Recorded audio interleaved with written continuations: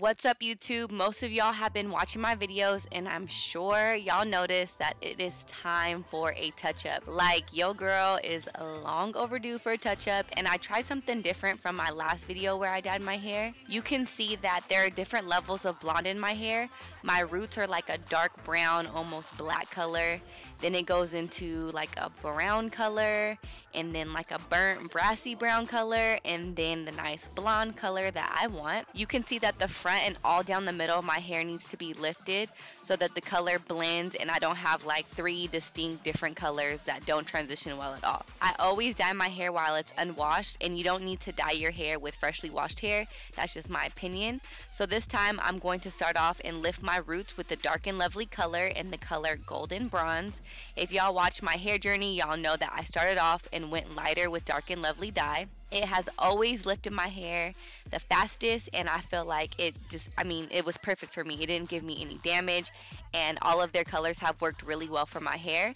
I'm just focusing on the roots, so I'm to part my hair in chunky sections and apply the color into my roots.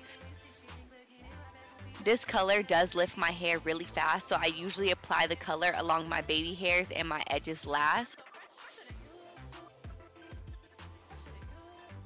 When you go to the back, I use the same method and divide my hair into sections and apply the dye and work the color into the darker parts of my hair with my hands. After I use all the color, I like to go back into the different sections and just make sure all the color is worked into the darker parts nice and evenly. So I'm just going to rub the color into my hair versus my scalp.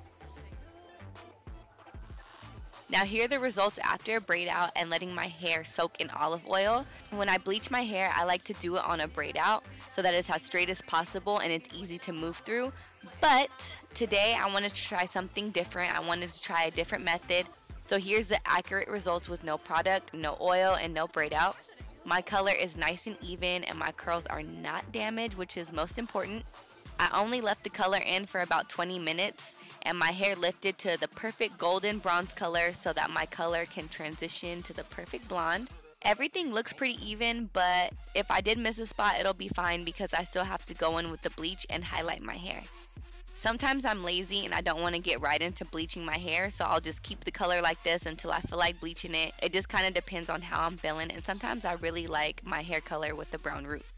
I'm going to mix 2 ounces of a 30 developer and 1 pack of B&W bleach. A 30 developer is the perfect volume for my hair texture because it will not ruin my curl pattern and it lifts my hair to the perfect blonde color before I use the toner. Toner is the most important thing guys. If you want a certain color blonde, it is almost absolutely definitely necessary for you to use a toner. Instead of dyeing my hair on a braid out, leaving my hair curly allows me to see what type of curl I'm applying the bleach on. I chose to try this method because I still have some heat damage pieces from a weave that I had a long time ago. I had to straighten my leave out so my curls got damaged and I don't want to apply any bleach to those pieces. When you bleach your hair after a braid out, it's kind of hard to tell which curls are strong and which curls are weak. Using this method made it easy to tell which curls can take the bleach and which curls need to stay away from the bleach. I processed my hair two times using a 30 developer, leaving it on for about 30 minutes each process. Once the bleach dries, it no longer lightens your hair. So leaving it on for an hour thinking, oh, I'm only process my hair once, it just damages your hair. Personally, I like to leave the bleach on for less time and process a second time if needed because it doesn't damage my hair. And then after the first 30 minutes, I can analyze my hair and see how my texture took the bleach. But everyone is different. And being that I'm not a professional colorist, this is just my personal opinion from my own experience. If you're not familiar with coloring your hair, I would suggest going to a trusted curly hair professional. Here are the results after using a Wella T15, which is a beige golden blonde than the typical ash blonde that I usually go for. I will be leaving my hair in a bun with a deep conditioner and different treatments for a few days just to restore some strength back into my hair. I will also upload some protective styles that I use after coloring my hair so that I can still be cute out and about and my hair is not stuck in a bun. Thank you guys so much for watching and I will see you guys next time.